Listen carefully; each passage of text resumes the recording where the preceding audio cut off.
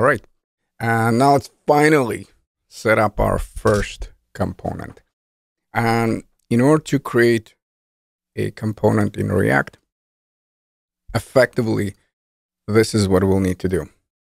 And as you're looking at it, your first thought probably is wait a minute, guy with a weird accent. That looks a lot like a JavaScript function. And guess what? You're absolutely, positively, 100% correct. Yes, in order to create a component in React, essentially, we need to create a function. Yes, of course, there are differences. Essentially, that's the whole point of this section, is to show you what differences are there between the good old vanilla JS function and the components that will be creating React. But always, always, always, when you think of component, think of function. Every time you want to create a component, think I need to create a function. And yes, it can be function with good old function keyword, or you can create the arrow function. That part doesn't really matter. Like I said, a lot depends on your preference. Now, we will cover more rules later. For now, I just want you to be aware that we want to start our components with capital letter. That's very important. Yes, we're creating a function, but we want to start with a capital letter. And we must, must, must, must return some kind of HTML from this function. Now, technically, this HTML is called JSX, but you'll see in a bunch of blog posts and you'll hear me throughout this course as well, effectively to use them interchangeably. Yes, what we're doing from the function, we're returning HTML. Essentially, this is going to be the tag that is displayed on the screen. And technically, you can return empty one.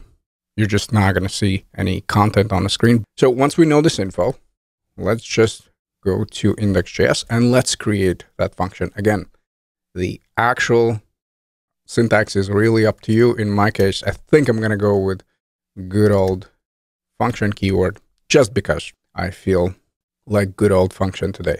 Then let's type return and whatever we want to display on our screen. So I'm not going to be very original and I'm just going to say my first component. So we're done. But once we save, nothing happens. And you're like, wait a minute, you just said that we're going to create a function and we're going to be good to go. So normally every time we'll create a component, we'll need to do these two things. We'll need to create a function, aka component, and we'll need to export it. Now, if you're not familiar with ES6 modules, don't worry about it. We'll spend quite a few videos on it. And essentially what we're doing here is we're just exporting this particular component and then we can use it anywhere in our application. Again, we'll focus on that a little bit later. I really want to uh, kind of hone in on the React stuff first.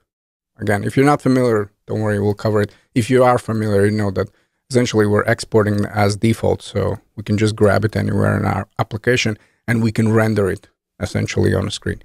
Now, this is different though. In the index.js, that's where we're setting up our root component. Remember, I said that we can have as many components as we want. I mean, you can have thousands and thousands and thousands of components, but you'll always have at least one. So that's the root component. That's the sucker that we will inject into that ID root. Remember, we talked about it uh, when we discussed the folder structure, I said that there's a public one, there's index.html, and then there is this famous ID root. So now what we want to do, we want to inject this greeting sucker into that ID root.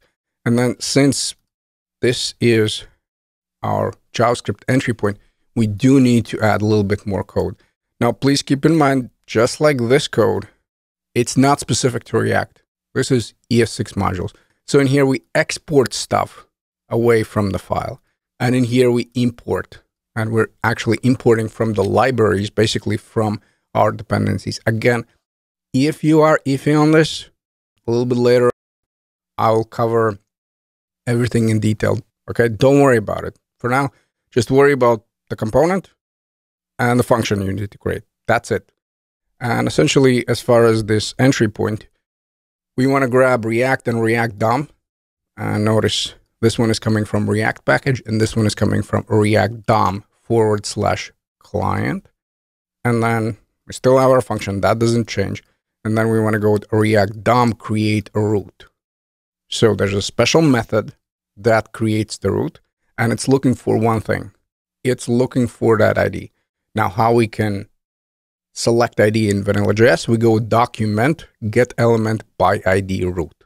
And then eventually we go with root.render. Again, if you're looking in this code and you're like, whoa, this got really confusing really fast, this is going to be your typical setup. And I'll show you the extension that actually sets up all the code for you. This is only for our root component, for our JavaScript entry point. And I can tell you right away that once we set it up, we'll pretty much forget about all this code. That's why, again, I know I've said this already 10,000 times. Focus, please, on this one. Rest of the stuff we'll figure out as we continue with the section. So first, let's grab those two imports. We're looking for React. So let me type over here. If you want, of course, you can copy and paste from the README. So let's go here with the React. And as a side note, most likely VS Code is going to give you the auto import. If it doesn't, then again, just look for React. Then we want to go with import React and then DOM. And then this is coming from React DOM library forward slash and client. And as a side note, they changed the syntax in React 18. So prior to that, there was React DOM render. Now they create that root first. So right after the greeting, we want to go with const and we'll create a root. So React DOM, and now we're looking for that create root. And now let's select the ID with the value of root. So this is where we go back to vanilla JavaScript and we go with get element by ID. And yes, we're looking for the ID of root. And once we have all of this in place, we want to go with a root and then render. And here we want to pass our component. Now, when we create a component, we create a function, correct? We create a JavaScript function. Now, when we want to render it, the syntax is following. We go here with the angle bracket, then the name of the component. And then one thing we need to know about React that we always, always need to self-close it. So this is, again, one of the rules that we'll discuss a little bit later. Just remember that when you pass in the component, you have two options. You can pass it like so with the opening one and the closing one, even though there's nothing in between. Yes, that's the case.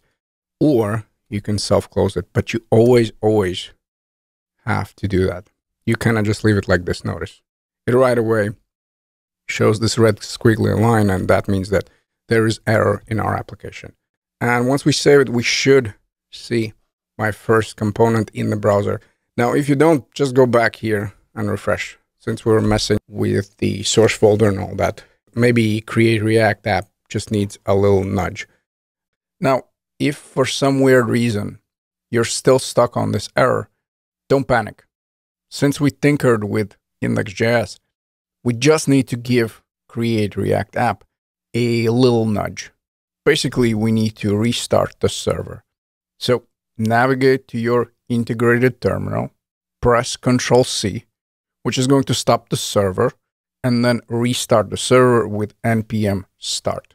Again, navigate to the terminal, press Control C, which is going to stop the server, and then just restart the server with npm start.